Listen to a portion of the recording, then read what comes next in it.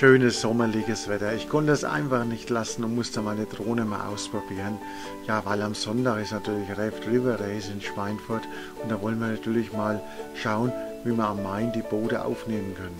Und damit alles gut klappt, muss natürlich auch wieder mal ein Probeflug gemacht werden und den habe ich hier zwischen Schweinfurt und Zell einfach mal absolviert. Ihr könnt natürlich gut erkennen, wie viel Spaß ich habe mit meiner Phantom 4 und äh, ja, also das Ding macht einfach Spaß und macht glücklich. Sie fliegt so zuverlässig, also sowas, äh, das ist ein, ein Meisterwerk der Technik. So, und jetzt halte ich auch wieder die Schnauze und ihr könnt weiter den Film anschauen.